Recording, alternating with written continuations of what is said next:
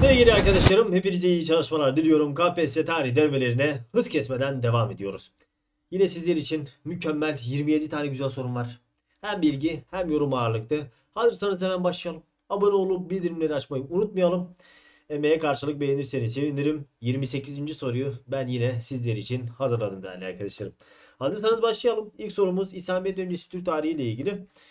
Bakalım sevgili arkadaşlarım. Bazı arkadaşlarım yorum yapıyor bu soruların çok kolay olduğunu söylüyorlar. Vallahi arkadaşlar artık nasıl soru hazırlayacağımı bilemiyorum. Birebir ÖSYM tarzında hazırlamamız imkansız zaten. Buradaki amacımız genel tekrarlarımızı yapıp sizleri en, en iyi şekilde sınava hazırlamak. Yani durum bu. Ama elimden geldiğince sınava uygun sorular hazırlıyorum değerli arkadaşlar. Sınavda zorlanmayın diye. Şimdiki sorumuz. Orta Asya'daki Türk boylarını birleştirerek ilk kez millet olma şuurunu ortaya çıkaran ve Türk Devlet Teşkilatı'nı kalıcı bir şekilde kuran hükümdar aşağıdakilerden hangisidir? Bu kişi kimdir? Bu kişi Asya 10 hükümdarı Metehan'dır değerli arkadaşlarım. Atilla, Tanrı'nın kırbacı, cesur kavimlerin efendisi olarak bilinir. Avrupa Hun Devleti'nin en parlak dönemidir. Balamir, Avrupa Hun Devleti'nin kurucusudur. Bumey Kağan, 1. Göktürk Devleti'nin kurucusudur. Bundan dolayı hangi ünvanı alacak? İlkağın ünvanını alacak değerli arkadaşlarım. Ki yok. Metehan'ın ölümünden sonra Çin ile ilişkileri geliştiren kişidir. Cevabımız burada Metehan olacaktır. Metehan hangi destana konu olmuştu? Oğuz Kağan destanına. Buna da dikkat etmemizde fayda var değerli arkadaşlarım. Çünkü ÖSYM destan sorabilir. İkinci soruya gidelim. Büyük Selçuklu Devleti'nin topraklarında Böğriler, Zengiler, Salgurlar, İldenizoğulları ve Bekteginoğulları gibi atabeyliklerin oluşması öncelikle aşağıdakilerden hangisinden kaynaklandı? Şimdi Böğriler nerede kurulmuştu? Şam'da. Zengiler Musul'da. Salgur Farsiler. İldeniz Azerbaycan. Bektegin Erbil'de. Bunlar farklı farklı yerlerde kurulan atabeyliklerdir. Atabey kimdi? Meliklerin eğitiminden sorumlu olan kişiler değil mi? Atabeylikler bile bağımsız bir devlet kurmuşlarsa bu durum bize neyi gösteriyor değerli arkadaşlarım? Merkezi otoritenin zayıfladığını gösteriyor. Şıklara bakalım. Ulusçuluk hareket, oho, milliyetçilik hareketleri biliyorsunuz ki Fransız devriminden sonra ortaya çıkacak. Bunu bir eleyelim. Boylar Federasyonu yapılanmasından bu durum genellikle İslamiyet öncesi Türk devletleri ile ilgilidir. Fethedilen toprakların komutanlara bırakılması bunu gerçekleştiren kişi e, Sultan Alparslan'dır. Malazgirt Savaşı'ndan sonra. Ondan sonra kurulan beylikler Saltuklar, Mengücekliler, e, Artuklular, Danişmentiler ve Çakabeyli gibi beyliklerdir. Soru bizden Atabeylik istemiş değerli arkadaşlarım. Selçuklu merkezi otoritenin zayıflamasından doğru cevabımız Kut anlayışının geçerli olmasından Kut ne demekti? Hükümdarlığın Tanrı tarafından verildiğine inanılmasıdır. Ama Kut'ta hanedan anlayışı var değerli arkadaşlarım. Bunlar Atabeylik. Cevabımız D şıkkı. Üçüncü sorumuz Türkiye Selçuklularında fethedilen toprakların kayıt altına alınması, vergilendirilmesi ve halka dağıtılması ile ilgili işlerden sorumlu olan devlet görevlisi hangisidir? Şimdi alay bey, alay beyi biz komutan olarak biliriz. Dirlik sistemi içerisinde yer alan önemli kişidir. Pervaneci, doğru cevabımız. Atabey, meliklerin eğitiminden sorumlu kişi. Şıhne'ye biz askeri vali diyoruz değerli arkadaşlarım. Askeri vali. Mutesip günümüz zabıta olarak değerlendirebilirsiniz. Çarşı ve çarşı ve pazarı denetliyor. Cevabımız pervaneci. Toprakların kayıtlarını tutan kişi pervanecidir. Divan, divanı pervane olarak bilinir. Geldik kuru fasulyenin faydalarına. Osmanlı. Hadi bakalım. Çok güzel bir soru. Bu soruya dikkat edelim. Ben bu soruyu çok beğendim gerçekten. Buna göre Osmanlı Devleti ile ilgili olarak aşağıdakilerden hangisine ulaşılabilir? Okuyalım. Bizans İmparatorluğu döneminde Rum tüccarlar yabancı limanlardan kovulmuşken Osmanlı yönetimine girdikten sonra Türk bayrağı çekip ticari seferlere çıktıklarında daha önce görmedikleri saygıyı ve ilgiyi Osmanlı tebaası olarak Avrupa devletlerinden görmüşlerdir. Rumlar örneğin diyelim İstanbul'a gidiyorlar. İstanbul'dan kovuluyorlar. Ondan sonra bu Rumlar Osmanlı'nın denetimi altına giriyorlar. Osmanlı denetim altına girdikten sonra istedikleri ilgi, istedikleri ilgi demeyelim, demeyelim de istedikleri her şeyi yapabiliyorlar. İstedikleri yerlerde ticaret yapabiliyorlar. Gittikleri yerlerde saygıyı görebiliyorlar. ilgiyi görebiliyorlar. Şöyle düşünün değerli arkadaşlarım. Mesela Rum tüccarı gidiyor onu kovuyorlar. Osmanlı tüccarı geldi mi? Buyurun efendim. Buyurun. Buyurun efendim. Buyurun. Buyurun. Arada çok fark var değil mi? İşte bu durum bize neyi gösteriyor? Osmanlı'nın güç sahibi olduğunu gösteriyor değerli arkadaşlarım. Değil mi? Şıklara bakalım. Müslüman olmayanların yönetime katıldı. Bu durum 19. yüzyılda etkisini gösterecek. Biz bunu eleyelim. batılı devletlere kapitülasyon hakkı tanıdığına. Böyle bir durum yok. Osmanlı vermişti. Doğrudur. Kapitülasyonları vermişti. İlk e, kanuni Fransa'ya vermişti biliyorsunuz ki. Fatih Sultan Mehmet Venedik'e imtiyaz vermişti. Böyle bir durum söz konusu değil. Uluslararası ilişkilerde güç sahibi mi? Güç sahibi. Bizans İmparatorluğu'nun iç işlerine müdahale edildiğini bunu gerçekleştiren Orhan Bey'dir değerli arkadaşlarım. Biliyorsunuz ki Kantekuzeni e, tahta çıkarıyor ve bunun karşılığında da Çin Kalesi'ni almıştı. Ekonomik alanda yaşanan sorunların giderildiğini, ekonomik alanla ilgili bir sorun burada yok. 17. yüzyılda etkisini göreceğiz. Cevabımız güç sahibi olması olacaktır. Nüfus sahibi. Beşinci sorumuz.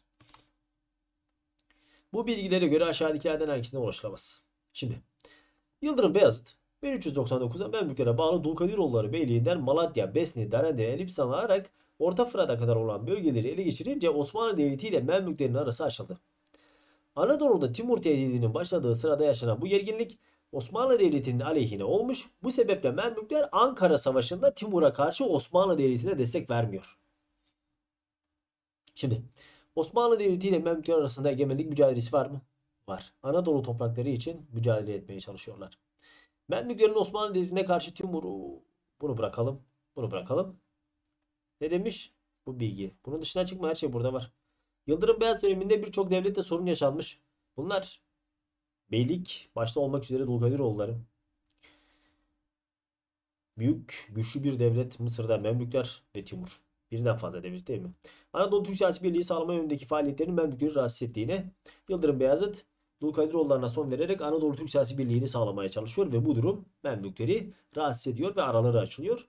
Devletler arasında Anadolu'ya yönelik çıkar çatışması var mı? Var. Memlük ve Osmanlı arasında. Değerli arkadaşlarım bakın.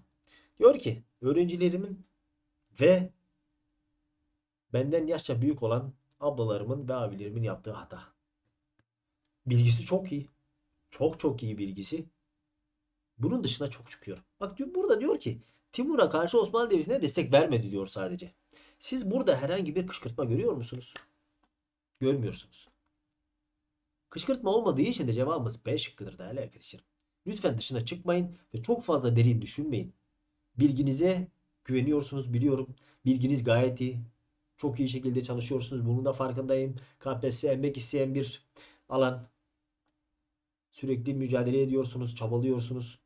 Ama lütfen genel hatların içinde kalın. Anlaştık mı? Cevabımız B şıkkı. Altıncı sorumuz sevgili arkadaşlarım. Fatih Sultan Mehmet dönemine ait gelişmelerinden hangilerinin Hristiyan birliğini önlemeye yönelik olduğu savunulabilir. Fatih zekir bir padişah değil mi değerli arkadaşlarım? Çok zeki, zehir gibi. Bir deha. Şimdi Hristiyan birliğini parçalamak için ne yapıyor? Öncelikle İstanbul'un fethinden sonra Ortodoksları kendi yanına çekiyor ve dini serbestlik tanıyor. Bosna Fransiskenlerine de bir çağrı niteliğinde oluyor bu. Venedikli tüccarlara Osmanlı egemenliğindeki yerlerde ticaret yapmak. Sen ne yaptın bu sefer? Venedik'i de kendi yanına çektin. Trabzon Rum İmparatorluğu'na son verilmesi Hristiyan Birliği'ni parçalamaya yönelik değildir. Fatih neden Trabzon'a son verdi hocam? Neden Mora despotluğuna son verdi? Çünkü bunlar Bizans'ı yeniden diriltmeye çalışıyorlardı. Fatih Sultan Mehmet Bizans'ın yeniden dirilmesini engellemek için Bizans sülalelerine bağlı devletleri ortadan kaldırıyor. Despotları ortadan kaldırıyor. Yedinci sorumuz. Bu bilgilere bakarak Osmanlı yönetimi hakkında ifadelerinden hangilerine ulaşılabilir? Sesim nereye gitti? Osmanlı Devleti'nde padişahın buyurdum ki sözüyle başlayan ve tuğrasını taşıyan bütün fermanları kanun niteliğinde olup tartışılmadan yerine getirilirdi. Ancak padişah bu yetkilerini keyfi biçimde kullanamaz. Padişah devleti yönetirken geleneklere ve kanunlara uymak zorundaydı. Diğer yandan devletin her işleminin İslam hukukuna uygun olmasını da gözetmesi gerekiyordu. Hepsini okudunuz değil mi? Hukuk devleti var mı? Var. Bazıları yok demiştir şimdi. Yok demeleri gayet normal çünkü orada diyor ki padişahın tuğrasını taşıyan her şey kanun niteliğindedir diyor. Hocam burada hukuk yok ki padişah karar veriyor diyor. Ama devamına bakın. Devamında kanunlara uyma zorunluluğu var. Ayrıca keyfi biçimde kullanılamıyor. İşte bu durum hukuk devleti anlayışına önem verildiğini gösteriyor. Din ve gelenekler uygulamalara yön vermiş mi? Vermiş. Özellikle şerri hukuk dediğimiz İslam hukuku çok erkendir. Bakın değerli arkadaşlarım şerri hukuk her şeyin üstündedir. Osmanlı teokrasiyle yönetilen bir devlettir. Padişahların egemenlik. Bu söz konusu bile olamaz değerli arkadaşlarım. Padişah her şeyin üstündedir. Son söz ona aittir. Egemenlik haklarını kimseyle paylaşmaz. Tektir. 8. sorumuz zaten mutlakiyet diyoruz biz buna. Tarhuncu Ahmet Paşa'nın bu tespitiyle ıslahatlarından hangileri ilişkilendirilebilir? Tarhuncu Ahmet Paşa Osmanlı Devleti'nin en önemli sorununun gelir gider dengesizliği olduğunu düşündü. Osmanlı tarihinde ilk defa denk bütçeyi hazırlayan kişi bu kişidir. Ancak ne yazık ki iltimasçılar ve rüşvetçilerin önüne geçemediği için bu kişi idam ediliyor. Peki Tarhuncu Ahmet ne yaptı? Has, zahmet gelirlerini doğrudan hazineye aktardı. Bu bir. Has ve zahmet neydi hocam? Has, yüksek rütbedeki kişilere verilen toprak geliriydi. Zahmet orta düzey. Diyor ki gelirleriniz bundan sonra hazineye. Çünkü çok açık var. Hatta Tanrıcı ne yapıyor biliyor musunuz? 10 yıl geriye gidiyor. Kendi cebinden bile ödüyor değerli arkadaşlarım. Saray masraflarını kısması ve hediyeler verilmesini yasaklaması. En önemli erkenlerden biri. Şu saray masraflarını kısı ya. İşte burada keyfine düşkün kişiler de buna karşı çıkıyor. Hazineye borçlu olanlardan tahsilat yapıyor bu kişi. Adam her şeyi yapıyor. Osmanlı için elinden gelen her şeyi yapıyor ama sonrasında idam ediliyor. Bunun sonucunda da Köprülü Mehmet şartla başa geçiyor bildiğiniz üzere. Dokuzuncu sorumuz değerli arkadaşlarım. Bu planların taşıdığı nitelikler arasında aşağıdakilerden hangisi gösterilemez? Plana bakalım. Planlar neymiş? İlk plan Osmanlı-Rus Savaşı. Yani 1768-74 sırasında 1774 sırasında Rus Prens Potemkin'in hazırlamış olduğu Doğu sisteminin büyük planı. Büyük planına göre Türkler Avrupa'dan atılacak İstanbul merkez olmak üzere bir Rus prensinin yönetiminde Grek devleti, Grek devleti, Grek ne lan? Grek devleti kurulacaktı. Dakya projesi ise Rusya ve Avusturya arasında Osmanlı topraklarını paylaşmak amacıyla hazırlamış olup projeye göre Eflak, Boğdan ve Beserabya'da yani Dinyeser ve Tuna nehirleri arasında Dakya adıyla Rus Avusturya bağımlı bir devlet kurulacaktır. Şimdi Grek ve Dakya ile ilgili bir soru geldi mi değerli arkadaşlarım? Direkt Avusturya ve Rusya'yı ele alacaksınız. Tarihi emelleri hizmet ediyor mu? Ediyor. Rusların en büyük planı neydi? Sıcak denizlere inme politikasıydı değil mi? Özellikle Balkanlara hakim olmaktı. Tarihi emelleri her zaman devam ediyor. Günümüzde de var. Katoliklerin oho bismillah bunu bırak. Osmanlı'ya karşı mı? Osmanlı'ya karşı. İstanbul diyor değerli arkadaşlarım. Eflak ve Boğdan diyor. Balkanların geleceği Besarabya, Tuna. Bazı devletlerin çıkarlarına dayanıyor mu? Dayanıyor. Kimlerin? Rus ve Avusturya. Ancak Katoliklerin birlikteliğini savunamazsın. Çünkü Ruslar Ortodoks değerli arkadaşlarım. Bunlar arasında sürekli üstünlük mücadelesi var. Gidelim 9. 10. sorumuza. Bunu özellikle hazırladım. Çünkü bunun hakkında sürekli konuşuyoruz. İnşallah sınavda çıkar. İnşallah çıkar da yaparsınız değerli arkadaşlarım. Kendisine Mora ve Girit valilikleri verilmediği için Osmanlı'ya karşı isyan eden Mısır valisi. Vehhabilik isyanını bastırıyor oğluyla beraber. Çok güçlü. Ordusu çok güçlü. Bu kişi Kavalalı Mehmet Ali Paşa'dır. Ne demiştik? Osmanlı'nın başına bela olan 2. Mahmud'un ex aşkı demiştik değil mi? Tepeden, Tepeden Ali Paşa Rumların isyanı sırasında yeni bir isyan çıkarıyor. Ahmet Paşa ayaklanması Kanuni Sultan Süleyman döneminde Mısır'da ortaya çıkan isyandır. Mustafa Reşit Paşa Tanzimat Fermanı'nı Gülhane Parkı'nda okuyan kişidir. İbrahim Paşa hangi İbrahim'i verelim değerli arkadaşlarım? Lale devrindeki İbrahim'i verebilirim sizlere. Nevşehirli damat İbrahim biliyorsunuz ki Lale devrinden sonra idam edilen sadrazamdır. Cevabımız Kavalalı Mehmet Ali Paşa olacaktır. Sonra ne sorunlar çıkıyor ne sorunlar. Şimdi sevgili arkadaşlarım İngiltere aşağıdaki savaşlardan hangisi sırasında Rusya'ya karşı Osmanlı toprak bütünlüğünü koruma politikasından ilk defa vazgeçmiş, savaşta tarafsız kalacağını açıkladı. Şu İngilizler var ya. Şu İngilizler. Bak değerli arkadaşlarım. Soru, sorulara dikkat et.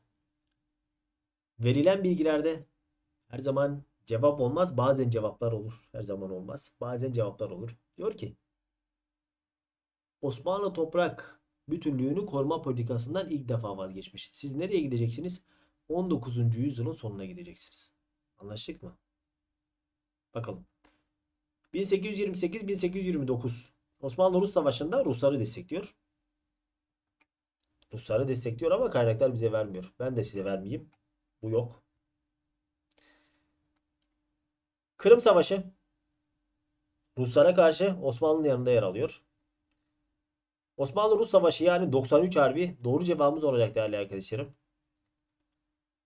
Dömeke Meydan Savaşı Osmanlı-Yunan Savaşı'dır. Bunu geçelim.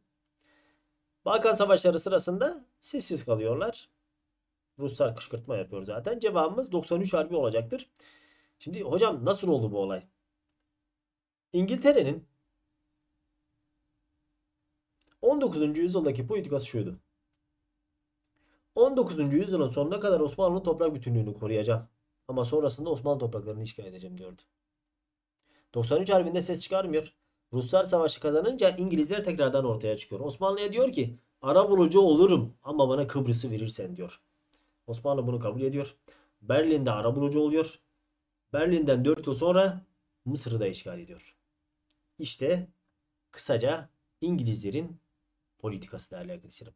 Bu arada Osmanlı-Rus Savaşı'nda A şıkkında Osmanlı-Rus Savaşı'nda ee, biliyorsunuz ki Osmanlı donanması Naverin'de yakılıyor. Sonrasında ilk defa bir azınlığa bağımsızlık tanınıyor. O azınlık Yunanlılar oluyor değerli arkadaşlarım.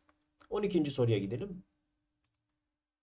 Osmanlılar'da herhangi bir meslek dalında çırakların kalfalığa, kalfaların ise ustalığa yükselmesi ve gedik adı verilen dükkan açma hakkını elde edebilmeleri aşağıdakilerden hangisinin iznine bağlıydı? Kadı noter işlerinden sorumlu, mirastan sorumlu, evlilikten sorumlu, adalet işlerinden sorumlu kişidir. Lonca doğru cevabımız Ehli İbre Lonca Teşkilatı içinde bulunan bilir kişilerdir değerli arkadaşlarım. Bilir kişi. Ehli Hiref'le karıştırmayın. O sanatkarlar, sanatkarlar. Subaşı Osmanlı tarihinde güvenlikten sorumlu kişiydiler. Defterdar günümüz Maliye Bakanı. Cevabımız Lonca. Çırak ve kafadan cevaba ulaşmak mümkündü. Gedik çıkabilir. Dikkat edin. Gediye biz ne diyoruz? Dükkan açma izni diyoruz.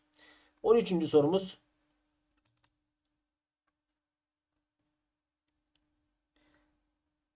Biraz zor bir soru. Bence yaparsınız. Yunanistan 1. Balkan Savaşı'nda adalarından hangilerini işgal etmiştir? Şimdi siz bu soruyu nasıl çözeceksiniz biliyor musunuz? Böyle zor sorular geldiğinde ilk önce bilginize güvenin ve sonra da şıklara girin. Şıklar da size yardım eder. Size bir sorum var. Uşi Antlaşması'nda 12 ayda geçici yollar kime bırakıldı? İtalya'ya. Osmanlı kimden çekiniyordu? Yunanistan'dan. İtalya bunu alıyor değil mi? Koruma altına alıyor. Sonrasında vermeyecek zaten. O yüzden Yunanistan 12 adayı işgal etmiş olamaz. İmroz ve Bozcaada. Midilli ve Sakız. Hangilerini işgal ediyor sizce? Değerli arkadaşlarım. İmroz ve Bozcaada'yı da işgal edemiyor. Cevabımız Midilli ve Sakız değerli arkadaşlarım. Biraz zor bir soruydu. Bazı arkadaşlarım kolay diyorlardı. İnşallah bu soruyu çözmüşlerdir. Ama sallamadan tabii ki. 14. sorumuz. Bazen sizi zorlamak istiyorum değerli arkadaşlarım. Gerçekten bazen sizi zorlamak istiyorum. E, sınava kadar böyle tam hazırlanın diye. Birinci Dünya Savaşı sırasında gelişmelerinden hangileri İtilaf devletlerinin Osmanlılara karşı milliyetçilik fikrini bir silah olarak kullandığını gösterir. Milliyetçilik ne demekti? Bir ulusun kendi devletini kurma isteğiydi. Ve bunlar genelde Osmanlı azınlıkları oluyordu. Kafka cephesinde Ermenilerin Ruslara destek vermesi. Milliyetçilik var mı? Var. Ermeniler niye Ruslara yaklaşıyor? Kendi devletlerini kurmak için. İngiltere'nin sömürgelerinden asker yardımı alması. Burada herhangi bir milliyetçilik yok. Burada biliyorsunuz ki İngilizler en önemli sömürgesi burada Mısır'dı değerli arkadaşlarım. Burada milliyetçilik yok. Arapların Osmanlı Devleti'ne karşı İngiltere'nin yanında olması. Niye İngiltere'ye yaklaşıyor? Toprak vaadi var çünkü. McMahon Antlaşması değil mi? Cevabımız burada değişiklik olacaktır. Milliyetçilik ayrı, sömürgecilik ayrı değerli arkadaşlarım. 15. sorumuz oho. Buna da dikkat edelim. 1918 Brest-Litovsk Antlaşması'nda hükümlerinden hangileri yer almıştır? Rusya 1. Dünya Savaşı'ndan çekildi. Bunu biliyoruz. Burada hemfikiriz. Hatta bunu gizli antlaşmalar arasına gidiyorlar. Böyle bir şey yok. Bu gizli antlaşma değil. Rusya 1. Dünya Savaşı'ndan hangi antlaşmayla çekildi? Brest-Litovsk. Bunu aldık. Ele ele. Rusya'nın 93 Harbi'nde elde ettiği Kars, Ardahan ve Batum'u boşaltması. Doğru mu? Doğru değerli arkadaşlarım. Kars, Ardahan ve Batum Kafka cephesinde Özür dilerim Kafkas değil. Kafka cephesinden sonra zaten olaylar gelişiyor. Hatta onu söyleyecektim, belirtecektim. Brest-Litovsk Antlaşması'nda Elviye Selase geri alınıyor değerli arkadaşlarım. Buna dikkat edelim. Hatta milli mücadele döneminde değişecek bazı şeyler. Tavizler verilecek. Savaşta Rusya ile işbirliği yapan Ermenilerin Osmanlı Devleti'ne teslim edilmesi böyle bir durum söz konusu değildir değerli arkadaşlarım. Çünkü Kafka cephesinde Ermeniler zaten güvenli bölgeye gönderilmişlerdi. O yüzden herhangi bir teslim yok. Cevabımız C şıkkı. 16. sorumuz. Aşağıdakilerden hangisi Mondros Ateşkes Antlaşması'ndan sonra meydana gelen bir gelişme değildir? Tarihi bilmemiz lazım burada. Tarihi 30 Ekim 1918. Mondros kim imzaladı? Bahriye Nazırı Rauf Orbay değil mi? Ahmet İzzet Paşa hükümeti. Buna da dikkat edin. Paris Barış Konferansı'nda Batı Anadolu'nun Yunanistan'a verilmesi. Paris 18 Ocak 1919. Tamamdır. Adana 4 yolda Fransızlara karşı Kuvay Milliye'nin silahlı mücadeleyi başlatması. İlk kurşun nerede sıkıldı Anadolu'da? 4 yolda değerli arkadaşlarım. Fransızlar burayı işgal ediyor. Tamam Mondros'tan sonra. Mustafa Kemal'in 9. Ordu müfettişi olarak Anadolu'ya gönderilmesi. Değerli arkadaşlarım 1919. Tecil kanunu ile Ermenilerin Doğu Anadolu'dan Suriye ve Lübnan'a göç edilmesi. Az önce bilgiyi verdim sizlere. Kafka cephesi sırasında dedim hatta. Bu değil. İngiltere Mondros'tan sonra işgal edilen ilk toprak Musul, Anadolu'da Hatay 4 yoldur. Buna dikkat edelim. Cevabımız D şıkkı. Tecil kanunu 1. Dünya Savaşı sırasında çıkarıldı değerli arkadaşlarım. Bir önceki soruda bunun bilgisini vermiştim. Hızlı izlemeyenler cevaba ulaşmıştır. 17. sorumuz. İtila devletlerinin Mebusa Meclisi'nin İstanbul'da toplanmasına izin vermelerinde düşüncelerinden hangileri etkili oldu? Niye izin verdiler? Hatta Mustafa Kemal gitmeyin diyordu. İstanbul'da toplamayın diyordu. Niye izin verdiler? Bakalım. Anadolu'da milli hareketin zayıflayacağını düşünmeleri. Bunlar diyor ki bunlar İstanbul itiraflar şunu diyor. Bunlar İstanbul'a geldiklerine göre demek ki Anadolu'da işler iyi gitmiyor.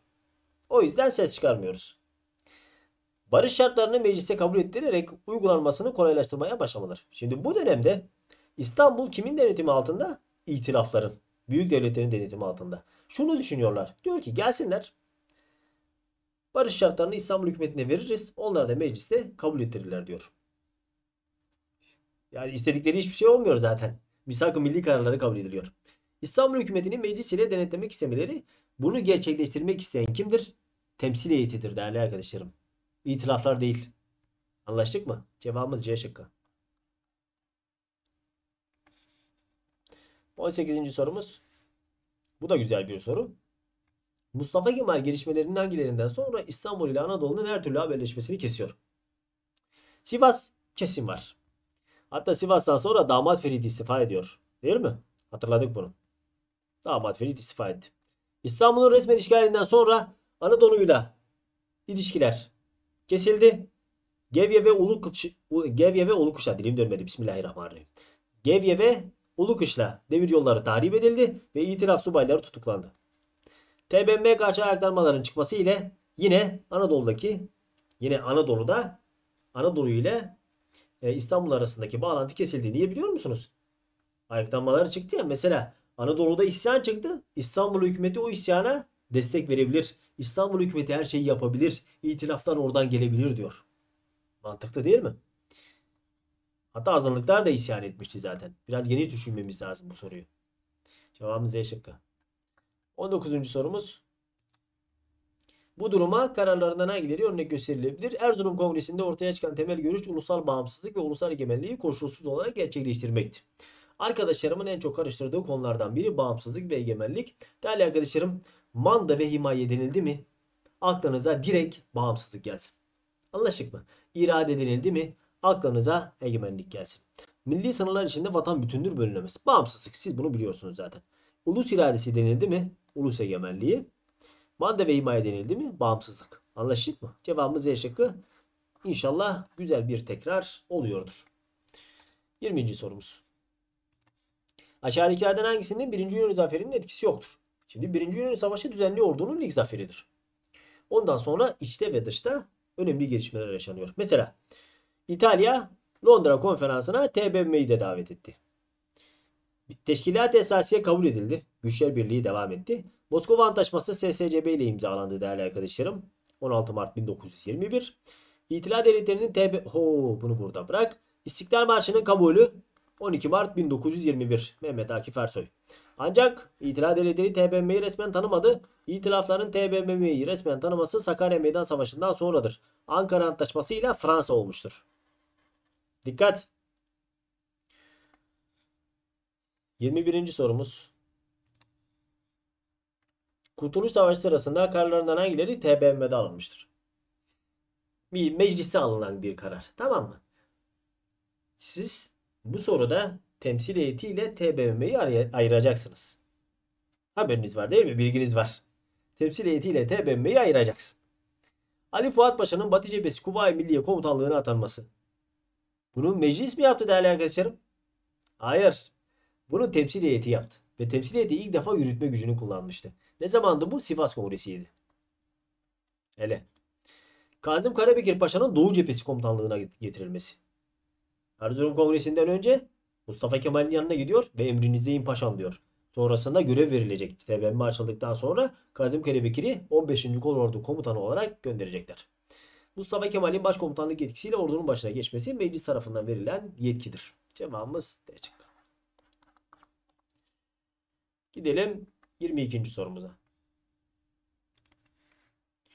1934 tarihinde çıkarılan kanunla A, Hacı, Hoca, Efendi, Bey, Hanım, Paşa gibi eski toplum yapısını yaşatan ünvanların kullanılmasının yasaklanması aşağıdaki inkılaplardan hangisinin benimsenmesini kolaylaştırmıştır? Gerçi günümüzde de hala arkadaş çevresinde kullanılıyor. Aga, aga ne yaptın? Hacı ne yaptın? Şimdi tarihe dikkat ettiniz değil mi? 1934 diyor. Türk Medeni Kanunu kadın erkek eşitliğini savundu değerli arkadaşlarım. Siyasi hak kadına verilmedi burada. Tekke zaviye ve türbelerin kapatılması toplumsal alanda yapılan inkılaptır laikliği güçlendirme adına. Suadi Kanunu doğru cevabımız. Tevhid tedrisat eğitim ve öğretimi birleştiren kanundur. Şapka Kanunu modernleşme adına şapkanın kanunlaştırılmasıdır değerli arkadaşlarım. Artık sarık yerine şapka gelecek. Cevabımız C şıkkı. Soyadı kanunu. Herkesin bir soyadı olacak. Üstünlük belirten unvan olmayacak. O yüzden halkçılık ilkesiyle doğrudan bağlantılı değil mi?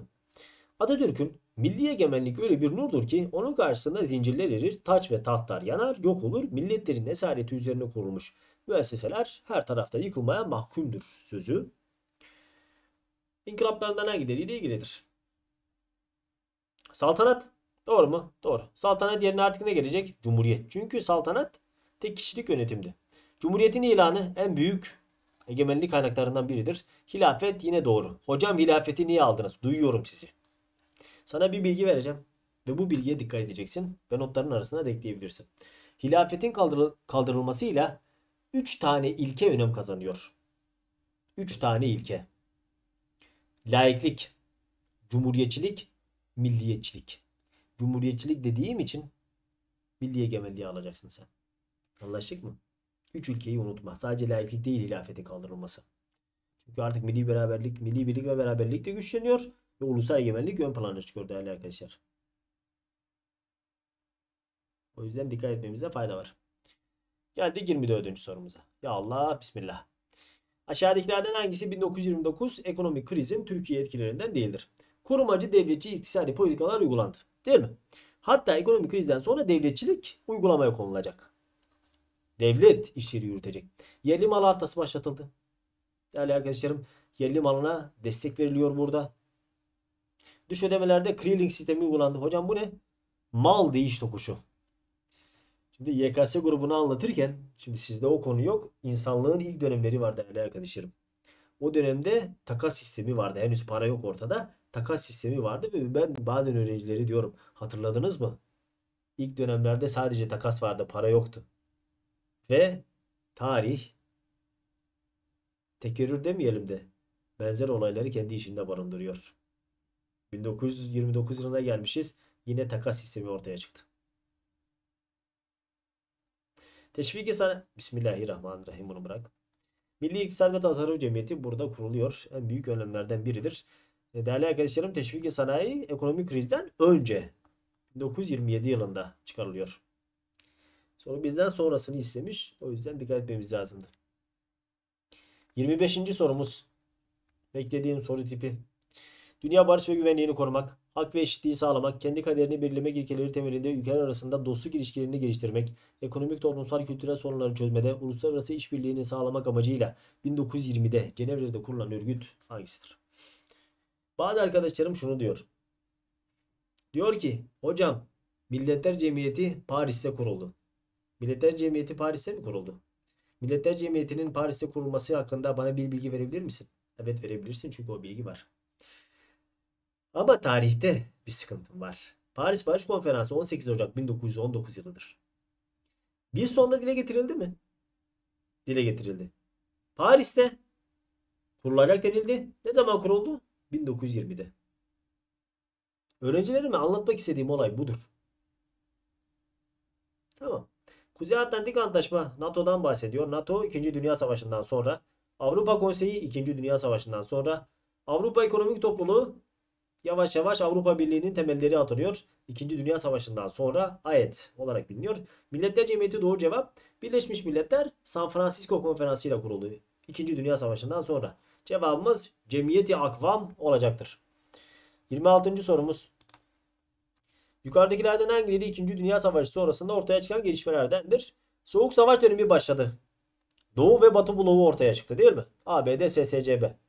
Hindistan, Mısır, Cezayir gibi ülkeler bağımsızlıklarını ilan ettiler. Hindistan'da yani Hindistan dediğince aklımıza kim geliyor? Tuz yürüyüşü geliyor değil mi? Sessiz direniş geliyor. Mahatma Gandhi geliyor. Buna dikkat edin. Sovyet elmasına karşı Varşova Vakti bu da doğru değerli arkadaşlarım. Nasıl doğru? Abi hayran. İki gözüm. Düşmediniz değil mi değerli arkadaşlarım? Eminim ki bazı kişiler düşmüştür. Bazı arkadaşlarım düşmüştür. Çünkü soruları bazen hızlı okuyorlar. Değerli arkadaşlarım. Varşova Paktı Sovyet elmasına mı karşı? Hayır. Varşova Paktı NATO'ya karşıdır. Varşova Paktı'nı kuran zaten Sovyetler Birliği. Cevabım 1-2. Lütfen sınavda hızlı geçme. Anlaştık mı? 27. sorumuz. Yukarıdakilerden hangileri Türkiye'de 2. Dünya Savaşı sürecinde başbakanlık görevinde bulunmuşlardır? Refik Saydam. Biz Refik Saydam'ı e, sağlık alanlarıyla da biliriz değerli arkadaşlarım. Buna da dikkat edelim. Şükrü Saraçoğlu Fenerbahçe efsanesi. Celal Bayar, hayır değerli arkadaşlarım. Celal Bayar Atatürk döneminin son başbakanıdır. Anlaştık mı? Cevabımız B şıkkı. Celal Bayar yok. Son soru sizde. Sizleri yorumda görmek istiyorum. Biraz e, genel tekrar mahiyetinde olsun diye bu soruyu size e, hazırladım. Osmanlı'da ilk bakır, gümüş ve altın parayı bastıran padişahları sıralamasını sizden istedim. Buna benzer bir soru yine yönetmiştim sizlere. Tekrar için tekrardan tekrar için tekrardan size hazırlamak istedim. Artık siz anladınız. Beğenip paylaşmayı unutmayalım.